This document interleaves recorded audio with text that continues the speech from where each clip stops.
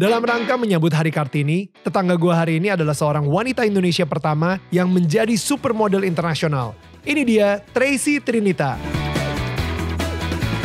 Di usia yang sangat muda, Tracy sudah mendapatkan ketenaran dan uang yang berlimpah dari karir modelingnya.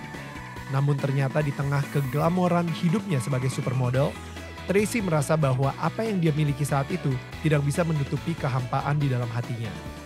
Di sini Tracy akan bercerita bagaimana dia sempat berpikir untuk mengakhiri hidupnya sampai Tuhan mengisi hatinya. Inilah kisah tetangga kita.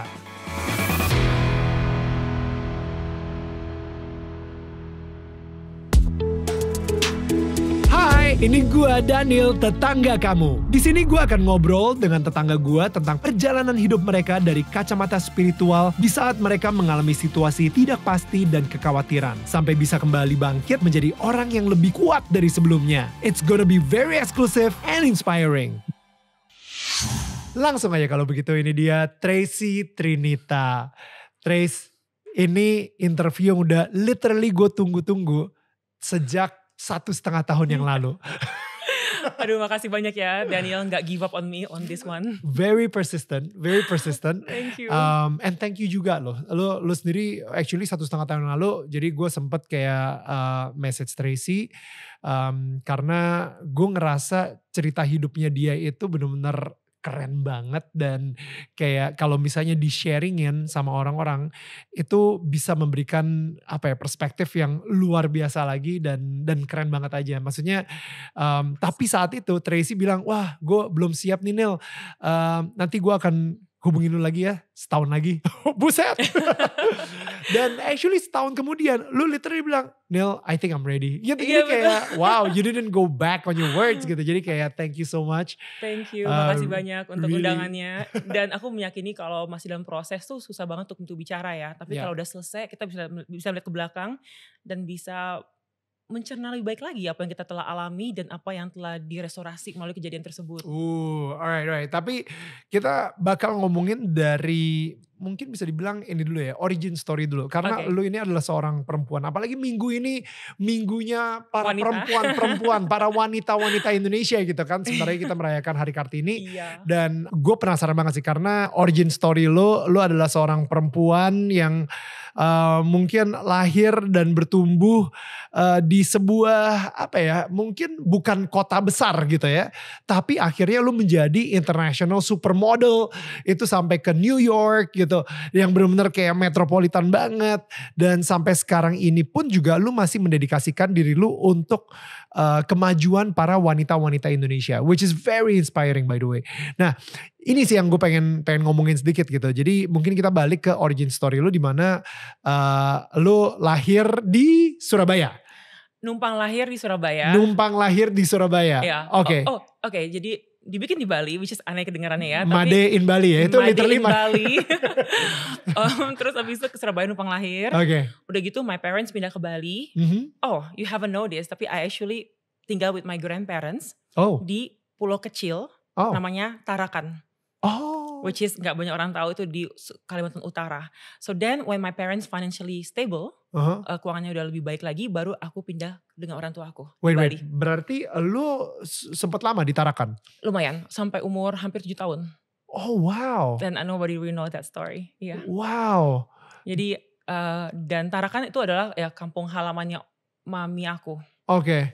Wait, orang tua lu jadi dia ada Kalimantannya. Iya, papa, mama Kalimantan campur Manado, Oke. Uh, papa orang Brazil. Oke. Dan pas di Kalimantan sendiri lu jadi seseorang yang beda banget dong. Maksudnya Beda banget. Aku waktu kecil tuh rambutnya blonde, udah gitu kayak pirang-pirang gelap ya. Ya. Udah gitu uh, tinggi dan Aha. mukanya muka Cina tapi rambutnya terang gitu. Jadi ya udah dipanggil anak jagung lah, jerapah lah dan sebagainya di kampung No dia. way. Alright, so Iya. tell tell me about your your childhood story gitu. Aduh, I think uh, menurut aku sih aku punya masa kecil yang bahagia banget karena aku Walaupun bertumbuh- dipanggil jagung iya, dan uh, dipanggil macam-macam, jerapat yang listrik, pohon bambu dan sebagainya, tapi Cina tetap loleng dan anything. tapi tetap nyasar, oh my Ah, gosh, oh my so God. many words. tapi masa um, kecilnya bahagia gitu Bahagia ya? banget, Oke. karena aku bertumbuh di daerah di mana kayak di, jadi ada dua dunia ya, maksudnya kayak Bali, dan, jadi ada I have the best childhood karena di kampung di Kalimantan di Tarakan itu aku tinggal di daerah di mana belakang itu kayak ladang besar ada sungai jadi ke, aku ke sekolah with my cousin Hmm. Uh, terus udah gitu it was really nice karena mm, it feels safe ya jalan sendiri masih kecil ke mana-mana sendiri dan dan merasa aman gitu terus pindah ke Bali Hmm. transisinya aku tinggal di Legian di dekat pantai Legian jadi kayak sekitar mungkin lima menit jalan kaki ke pantai Legian and then it's actually another nice place gitu Ya. jadi I have uh, as far as I remember it was the best childhood karena naik sepeda. Pokoknya schedule schedule itu simple banget. Bangun pagi ke sekolah pulang sekolah makan makan ke pantai berenang Wow. sampai sunset harus pulang terus di rumah ngerjain PR sebentar tidur and the Wow. day repeat the same thing again and again gitu That's paradise, man. it is a paradise dan Bali zaman dulu Hmm. tahun 80-an it's so beautiful lagi seminyak tuh hutan belantara Ya. kerobokan gak ada yang tahu Canggu udah what is Canggu gak ada yang tahu jadi itu bener-bener kayak it's just a paradise I I grew up with uh, you know few friends yang you probably know Luna Luna Oh, ya. lumayan lumayan deket dari rumahku dan Oke. dan few others friends yang anak-anak campuran di Legian Kuta Semi, eh, Legian Kuta Nusa Dua gitu gitu dan. Sanur dan sebagainya. Wow. So it's such a good childhood. Tapi akhirnya dari Pantai Legian kan itu deket, deket sebuah disko namanya Double Six. Jadi my Yeah. parents pikir ini bakal nggak bagus kalau aku bertumbuh remaja di daerah seperti itu. Akhirnya kita Very pindah ke wise. desa Hmm. namanya uh, Kerobokan Oke. di in the middle of rice field rumah itu di tengah-tengah sawah dan namanya uh, oke maybe not Banjar Banjar eh daerah situ lah di Ya. sebuah banjar di sana. So I sekolah naik sepeda. Jadi aku kalau sekolah naik sepeda Di tengah-tengah sawah. Gitu. Jadi keluar dari tengah sawah teriak Wayan, nanti Wayan keluar naik sepeda, Made, keluar Made gitu. Nyoman, jadi lama-lama rame-rame nih anak-anak kecil naik, naik sepeda ke sekolah. Wow. And it's like I have the experience. Rambut kepang dua, jalan di antara sawah, pergi ke sekolah. That is my wife's dream. Oh ya, itu itu sekolah anak kampung ya. I'm so glad I experienced that. Ya. Yeah, yeah, Dan yeah, aku yeah. nggak bisa bahasa Inggris loh dulu. Oh, what? Nggak bisa, cuma bisa bahasa Indonesia sama bahasa Portugis. Oh, wow. Iya. Oh, karena bokap berhasil ya. Karena aku diajarin nggak bisa-bisa. Oh, udah punya guru orang bule namanya Ma- Master John dari masa kecil nggak bisa Nggak bisa nggak juga. ngerti makanya pas ke Amerika pun juga aku nggak terlalu bisa bahasa Inggris right, right. Oke, oke. Nah, sekarang nih gue pengen tahu nih kayak dari Bali dengan kehidupan yang seperti ada di surga tersebut sampai akhirnya lo masuk ke dunia modeling dan sampai akhirnya lo jadi salah satu top model juga di eh, dari Indonesia di dunia gitu. iya iya awalnya tuh mami aku lihat ini anak tinggi banget Ya. untuk usia 13 ke 14 173 cm sekarang Wow. udah lebih tinggi sekarang 181 dan untuk tinggal di kampung maksudnya kayak temen aku tuh semua pendek-pendek gitu jadi Right. kayak I'm actually the tallest one terus secara nggak langsung tuh aku suka suka nundukin badan Hmm. Jadi mama pikir bahwa ini anak bakalan minder banget nih. Udah kelihatan minder dengan Ya. tingginya dan um, I have a low self esteem. Uh, Hmm. sangat rendah apa minderan waktu masih rendah diri. rendah diri. Ya. Jadi ibu aku pikir mungkin kalau dikasih modeling bisa jauh lebih percaya diri. Makanya diikutin terus diajarin cara jalan yang benar, taruh buku di atas, les dan semuanya. Oh, wow. Terus diikutin diikut sertakan ke sebuah kompetisi bernama Cover Girl majalah mode. right. Which is di tahun 90-an itu tuh kayak kalau banyak sekali mencetak begitu banyak model-model Ya. yang akhirnya atau uh, yang jadi artis, jadi penyanyi, jadi model uh, melalui kompetisi majalah mode namanya. Umur berapa? Umur 14, 13 ke 14. Right. Akhirnya uh, uh, mamaku ikut ikut sertakan menjadi finalis Ya. dan menang. Nah, di tahun uh, di tahun itu, di tahun 1995, I, aku ikut tiga kompetisi modeling. Yang pertama majalah mode juara satu. Yang kedua Elite Model Internasional eh, Elite Model Indonesia itu juara satu juga Hmm. yang akhirnya mewakili Indonesia untuk Elite Model Internasional. Terus juara tujuh besar dari 15 pemenang. Dan itu yang mendapatkan uh, kontrak eksklusif bekerja di Amerika Ah. dengan agensi elite di seluruh dunia. Wow. Itu in one year tiga kompetisi. Jadi istilahnya kayak from nobody to somebody overnight. Itu aneh banget Daniel. Karena Ya. I anak kampung ke sekolah naik sepeda. Tiba-tiba ya, I see myself on TV, on the spotlight, magazine gitu. spotlight Iya is on you. itu itu benar-benar kalau boleh jujur waktu itu belum bisa menghandle secara secara mengerti how to handle this. Jadi aku pernah setelah kompetisi menang kan itu beritanya ada di koran di mana-mana. Lagi jalan ke Pondok Indah dengan beberapa teman-teman. Ada yang nyam- ada yang nyebut nama gitu kayak Yeah. "Oh, itu kan si Tracy Yeah. Trinita. Aku samperin bilang permisi, kok nama saya disebut ya? Nggak ngerti kalau ada orang suka manggil-manggil zaman dulu kan kayak you know sometimes you walk on the street ada orang kayak Eh, Daniel Mananta Iya, gitu iya, kan. Iya, iya, iya. I don't understand. She freak out, I freak out. Like, like I'm like, oh, that's not you're supposed to do. Oke, jadi my friend ajarin tuh gimana kalau ada orang nyebut nama kamu kamu harus cool harus Oh yang kayak, wow. kayak Wow. nggak usah di senyum aja dari jauh nggak usah disamperin I'm like oke oke jadi aku belajar untuk menghandle uh, ini fame yang baru ini gitu Iya, kayak iya. orang kok tahu nama aku ya gitu Temen lu lebih diva gitu. dari lu kayaknya. iya my friend dia lebih siap mental Iya. I'm like oh I'm, I'm learning from her gitu Wow, tapi umur 14 dan tiba-tiba yang tadinya lo uh, low self esteem gitu ya, Mm-mm. jadi nggak punya kepercayaan diri, sampai tiba-tiba mungkin saat itu semua cowok ngejar lo kali. enggak Oh, enggak that's juga? not true enggak No, come No. on. Dan aku nggak pernah ngalamin dikejar-kejar sama cowok Uh, what, they get intimidated karena lu tinggi I banget. don't know tapi I don't never have that privilege jadi selama ini aku kalau pacaran tuh selalu dijodohin sama orang No. almost nggak pernah kayak ketemu di mana randomly kenalan tapi nggak pernah semua as far as I remember semua ex boyfriend aku semua dijodohin What? I need help kasihan ya.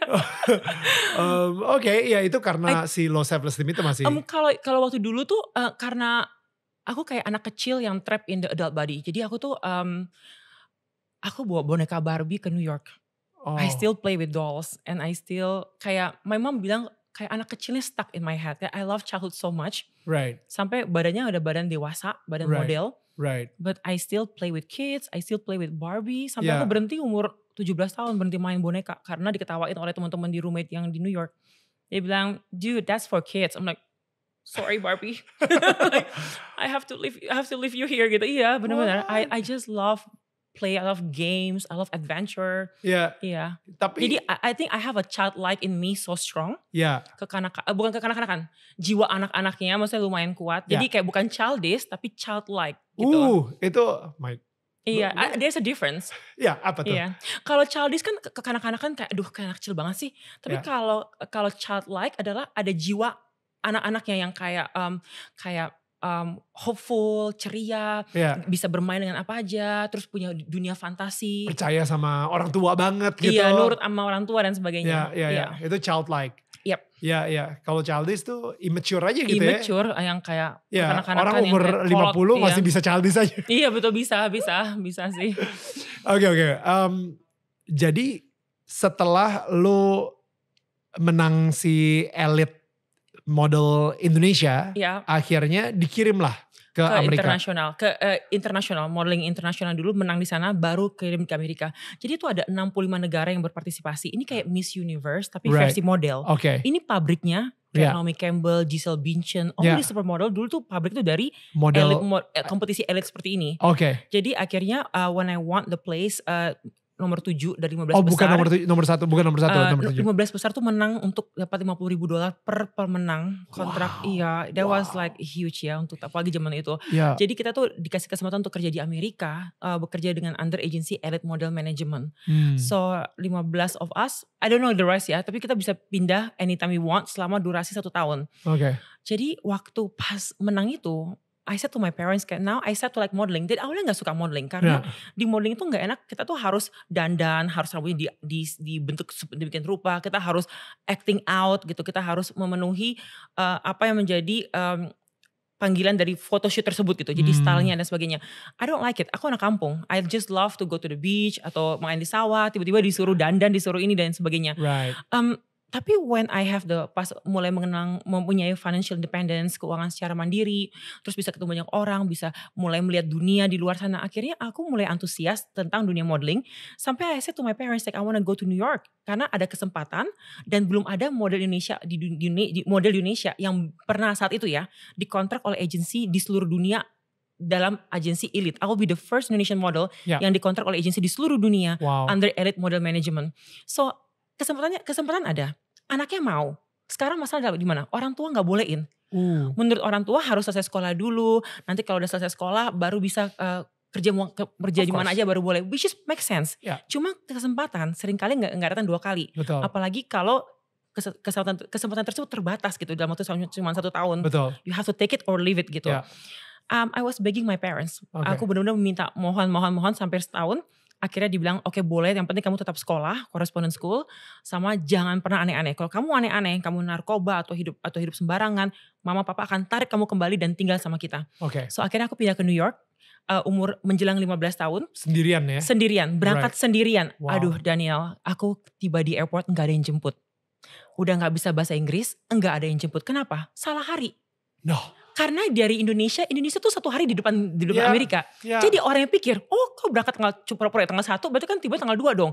Logikanya adalah berangkat tanggal 1 tuh mesti tanggal 31 gitu di Iya, negara mereka iya, gitu. iya. Jadi it's aku tiba di airport jam 11 pagi di GFK Airport. Nggak ada yang jemput. Dan aku nggak bisa bahasa Inggris. No. Jadi aku no- cuma dibilangin nanti ada orang pakai spanduk, ada nama kamu. No. Tracy Trinita, Elite Model Management. Dia akan antar kamu ke model apartemen Ya. udah gitu uh, akhirnya aku nyari nyari nyari nyari nggak ada nyari nggak ada nggak ada sampai malam dan udah capek dan udah nggak ada handphone zaman itu ada hanya hanya untuk orang kaya tapi zaman itu nggak ada bukan untuk orang umum akhirnya aku inget tuh papa dulu pernah lupa waktu kita ke LA waktu masih kecil dia pernah lupa booking hotel kita pergi ke ada dinding yang banyak telepon teleponnya di airport Oh ya. Akhirnya aku cari yang bentuknya rumahnya kayak Barbie.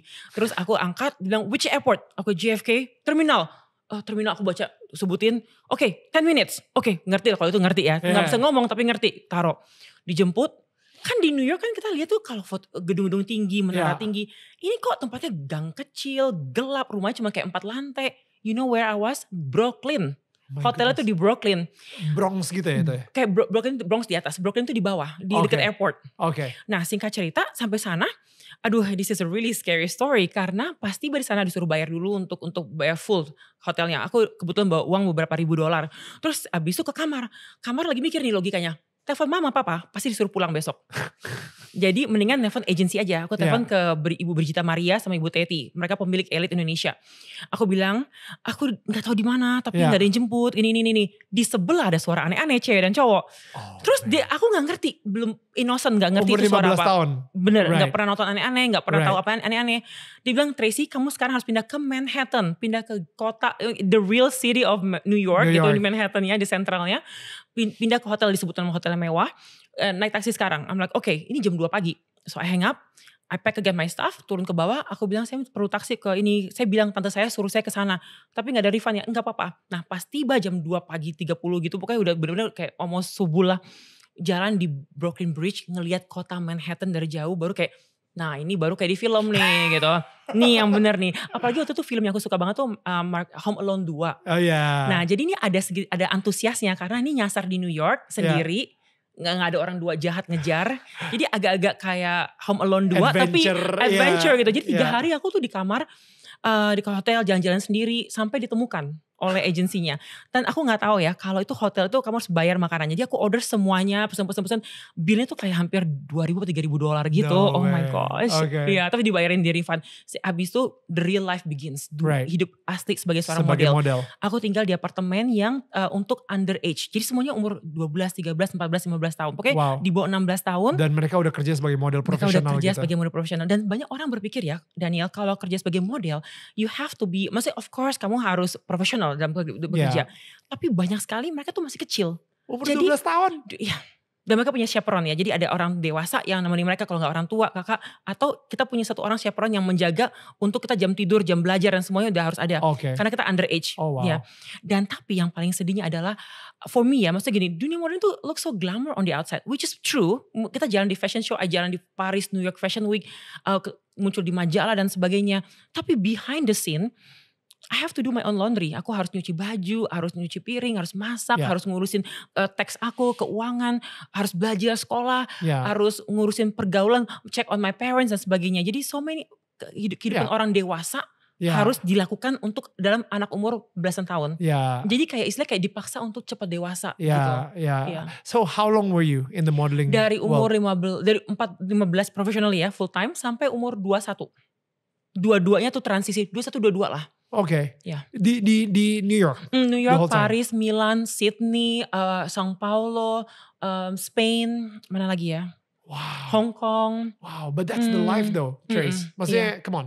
Lo dari umur 15 sampai umur 22 itu kayak masa prime lo untuk party-party. I abis party itu- a lot. Right, Iya. of course, right? Dan abis itu Iya. kayak lu sebagai model oh, udah pasti bakal dapat privilege-privilege juga. Iya, iya. Itu bener-bener nggak tahu ya impian semua orang sih. Iya. I, I feel like wow, itu impian gue juga tapi Iya tapi bener lah itu itu itu glamor banget on the outside. Dan emang bener-bener glamor. Jadi kalau udah pesta kita tuh pesta sama aktor terkenal, aktris terkenal. Jadi udah kayak dan dan in modeling udah biasa aja gitu. Jadi kalau kita oh that's Leonardo, oh that's JC, oh that's this, that's that. Jadi udah, udah ketemu tuh dengan kayak ya kayak kita di Jakarta lah ya. Kalau Ya, udah ya, ya. ketemu it's just like it's them gitu. Oke. Iya, tapi tapi yang menarik ya, maksud dari dunia dunia modeling yang aku pelajarin bahwa people gini, it's like so glamour tapi penuh perjuangan, penuh kerja keras dan juga um, ada strategi dalam dalam bekerja. Soalnya enam tahun itu cukup waktu yang lama Actually ya. iya. Banyak kan banyak yang tumbang satu tahun dua tahun tumbang. The first year itu banyak yang tumbang. Oke. Fil jadi tuh banyak di ayaknya tuh filter filter filter tuh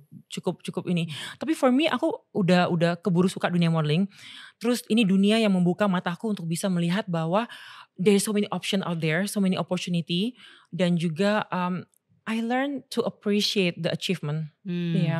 Ketika lu menjadi seorang model dengan your low self esteem Hmm. itu gimana? Iya ini aneh banget ya. Jadi kalau tiap kali orang bilang sama aku kayak Trace, uh, you so pretty, aku nggak percaya. Jadi I always feel like I'm an ugly model. Uh, dan I can prove that karena beberapa model emang nggak cantik tapi menarik gitu. Jadi I never feel pretty. I always feel like ugly, unloved, unwanted. Aneh ya. It is, this is something yang aku pernah struggle cukup lama sampai akhirnya I have that freedom later on pas mengenal Tuhan sebagai juru selamat. Tapi um, jadi kalau orang bilang you so pretty and I'm just like oh no they just being nice, they just being polite, hanya sopan santun aja. Tapi Wow. sebenarnya they don't mean it gitu. Wow. So I have a I'm working sebagai model tapi dengan low self esteem. Kena- kenapa? Itu asalnya dari mana? Um, I'm thinking about it ya. Kalau aku bilang sih um, Is it karena dibully-bully soal tiang listrik dan jagung dan bule kesasar segala Hmm, gitu? iya, iya, Maksudnya jadinya itu yang bikin lu ngerasa unloved, unwanted, sama ugly? Iya tapi kalau aku bilang ini kebohongan yang aku percayai. Jadi Oke. ini sebuah kebohongan yang sebenarnya nggak benar, Ya, tapi karena nggak ada juga nggak pernah mencoba untuk uh, mengutarakannya atau Ya. berpikir logika di balik kenapa aku percaya kebohongan ini, akhirnya aku bawa terus sampai sampai aku besar gitu. oke. Dan um, I, of course ada suara dari luar ya, contohnya kayak uh, my parents kan the, susah banget hidup mereka the first seven years of my life. Jadi I have to live with my grandparents. Jadi mungkin aku pikir kayak oh my parents doesn't want me gitu. Nanti pas mereka Hmm, udah punya keuangan uh, stabil baru mereka they want me gitu. Mungkin ada bagian itu juga. make sense. Ada juga ada bagian dari nama. Bagian dari nama kayak semua make fun of me kayak namanya Tracy.